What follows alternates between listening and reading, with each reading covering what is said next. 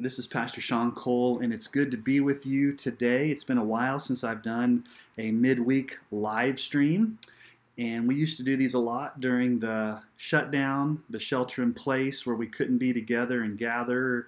Um, but I felt like it would be important to just um, do just a really brief uh, teaching tonight, especially on the issue of uh, social media and how we tend to post things how we tend to interact with others, especially as a believer in Christ. How do you interact with others, especially on Facebook, on Twitter, um, in different social media contexts?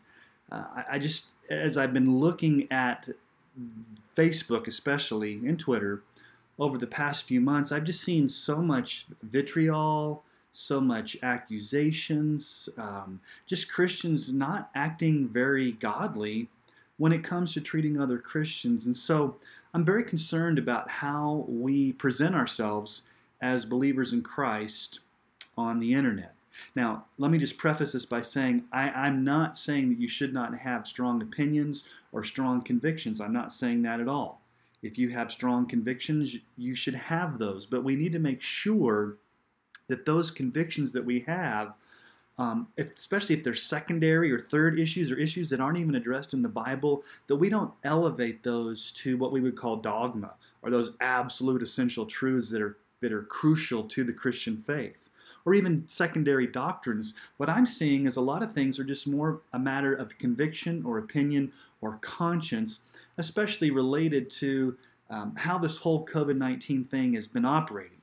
Should you wear a mask? Should you not wear a mask? How do you uh, relate to the governing authorities?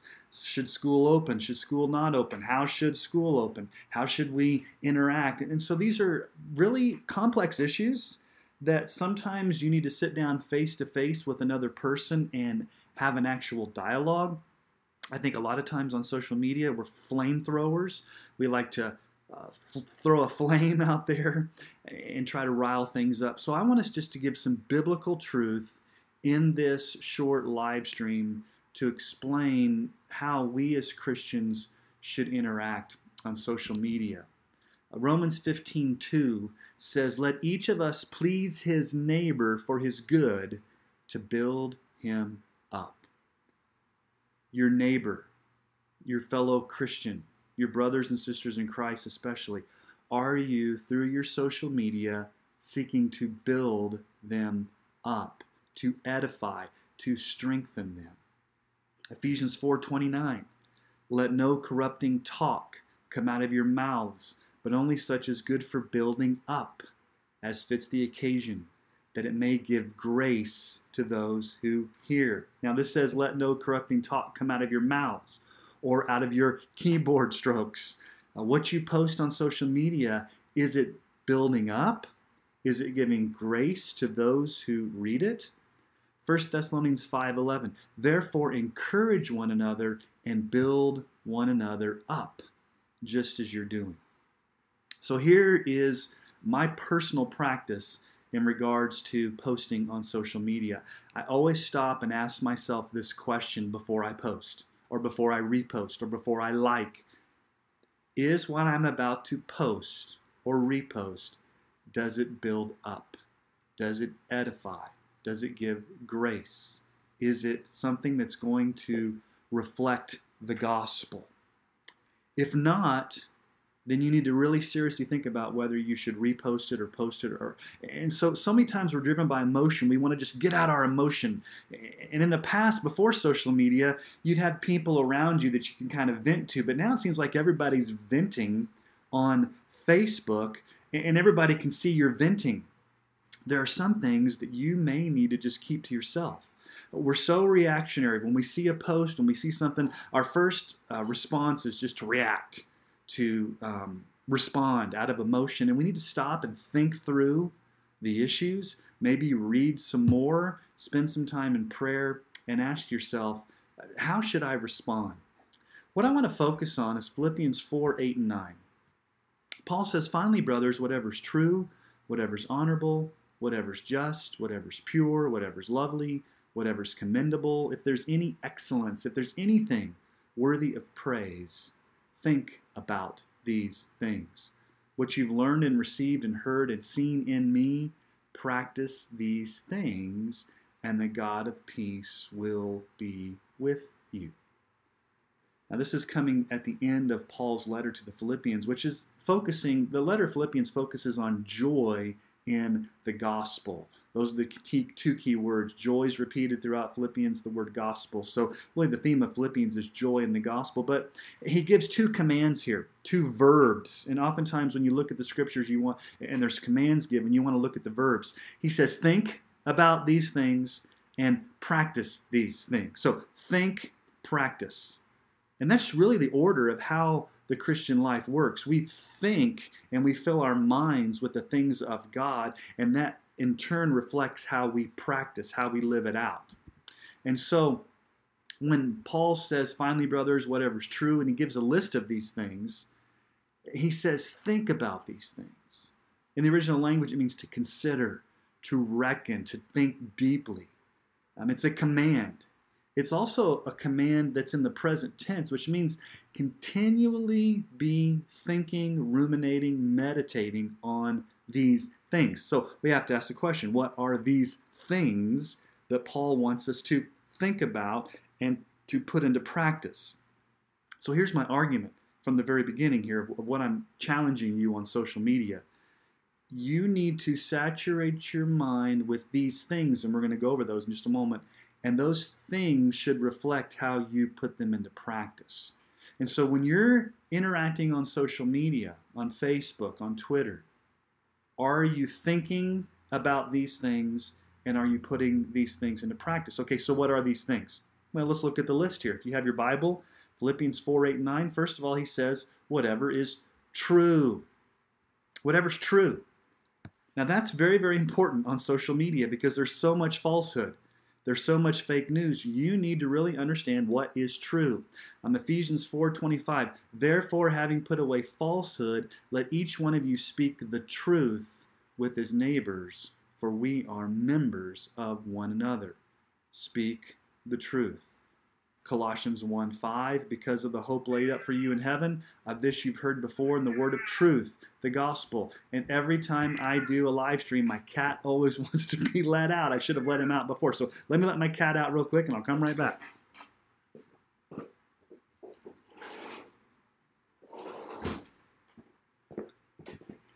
Do felines automatically know when you're going to go live on Facebook?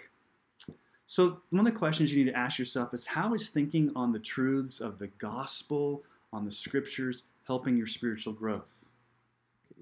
Oftentimes, it's, it's really um, easy to embrace untruths or falsehoods or, or, or kind of just going with the emotions of the situation. You really need to establish what you're reading, what you're interacting with is, is true, especially biblically true? Are you speaking the truth in love? Okay, secondly, he says whatever is honorable, honorable or dignified.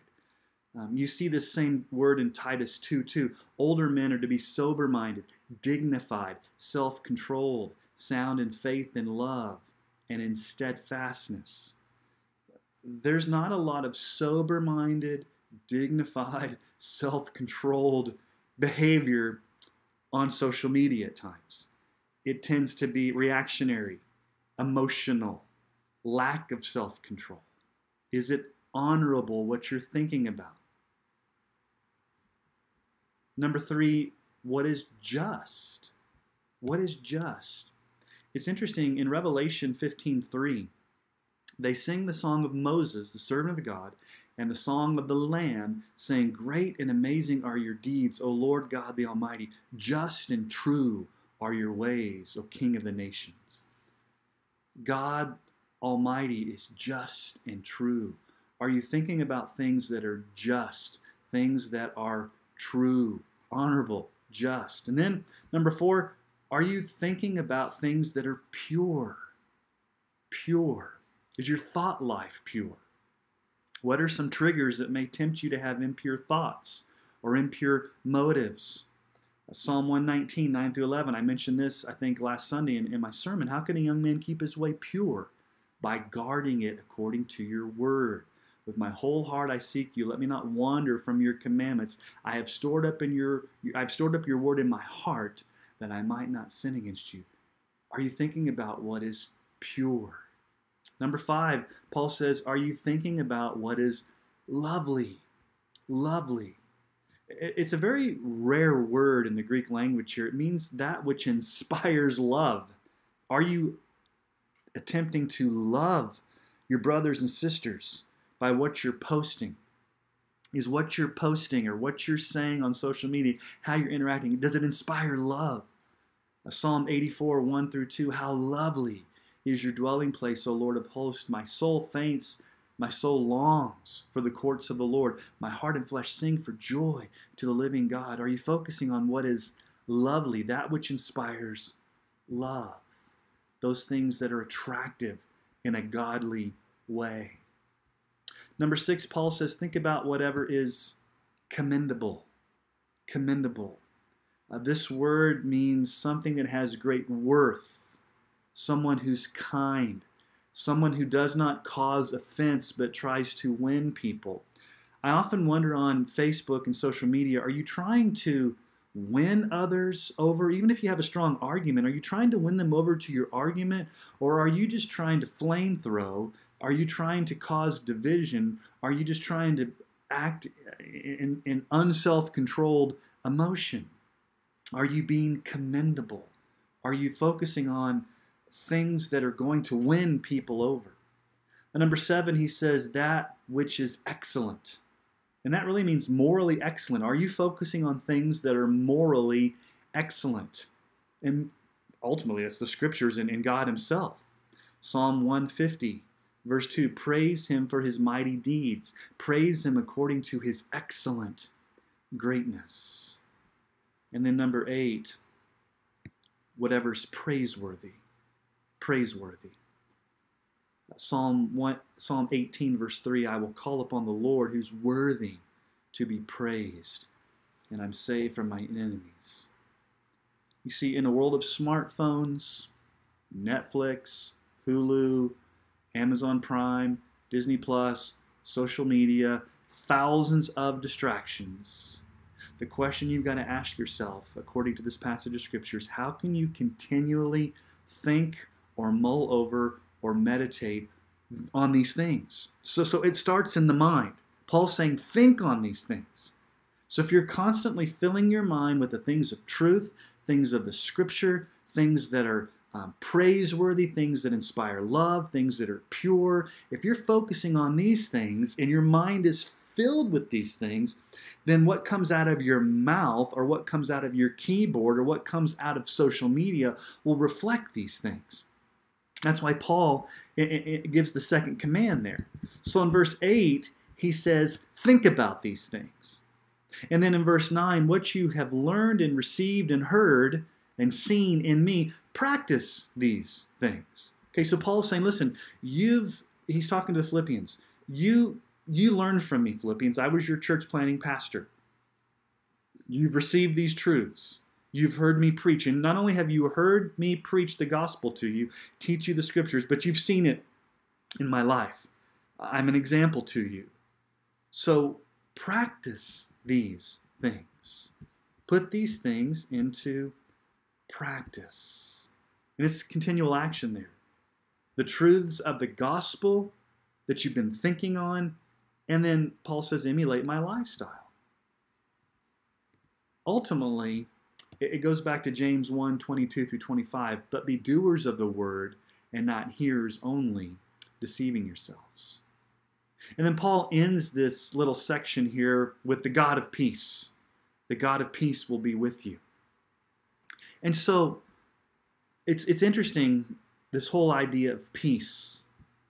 When you continually think about gospel truths about scripture, God's peace will fill your heart. When you continually live in obedience to those truths, when you practice those things, God's peace will give you the strength to obey. So, in your social media interactions, the question is Are you thinking about things that edify, that glorify God, and are you putting those things into practice? So, just a practical tip that I would encourage you with before you post or repost or like or vent or express, and I'm not saying you shouldn't do those things, so don't hear me incorrectly. Would you stop and ask yourselves before you begin to type or before you begin to use your thumbs or however you do it on your phone or your, your laptop or, or smartphone or whatever you, device you use, is what I'm going to post or say, does it reflect the, these things we've seen in Philippians 8? Is it edifying? Does it build up? Does it inspire love? Does it encourage? Is it gospel centered? Is it focusing on the glory of Christ? Or is it just my emotional rant? Is it my selfish way of just kind of putting what I want to say out there? Is it self controlled or is it just quickly out of emotion? Is it going to cause division? Especially, is it going to offend another believer? Now, there's some things that we believe as Christians that are going to offend non Christians, okay? We, we understand that. But we don't want to purposely give offense. Now, the gospel is offensive. The truths of Scripture are offensive to the unregenerate person who doesn't understand truth. And, and we understand that, especially when you're interacting with unsafe people on Facebook and social media. But what I'm concerned about is believer to believer, Christian brother to Christian brother, Christian sister to Christian sister, the way that Christians are treating one another. We need to be very careful. We are brothers and sisters in Christ. We are blood bought family, adopted into God's family to live together in unity and love and encouragement. And so just be very here to stay. And um, there's some people I know that aren't even on it just because of the, the issues. It can become addictive, especially in this whole shelter in place time that we had a few months ago, where all you're doing is you're reading and you're looking at posts and you're just consuming yourself with a screen and all of the opinions and all the thoughts and all the news and all everything. It's just everything is a screen. Get away from the screen and go read your Bible and spend time meditating on the truths of the Bible and let those truths impact how you interact. And so I hope this has been a good short encouragement to you.